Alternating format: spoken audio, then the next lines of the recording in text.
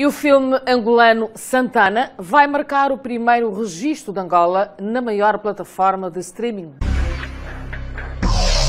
Entre os angolanos, Dr. Steve, um jovem benguelense, marca sua estreia no mundo cinematográfico.